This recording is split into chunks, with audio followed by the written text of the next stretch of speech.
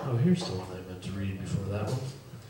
This is my one of my favorites of him, though I don't really know what it means. Um, a little atomic bomb. Oh, just give me a little atomic bomb. Not too much, just a little. Enough to kill a horse in the street, but there aren't any horses in the street. Well, enough to knock the flowers from a bowl, but I don't see any flowers in a bowl.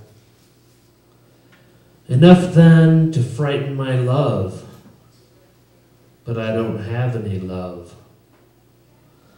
Well, give me a little atomic bomb then to scrub in my bathtub like a dirty and lovable child. I've got a bathtub. Just a little atomic bomb, General, with pug nose, pink ears, smelling like underclothes in July. Do you think I'm crazy? I think you're crazy too so the way you think. Send me one before somebody else does.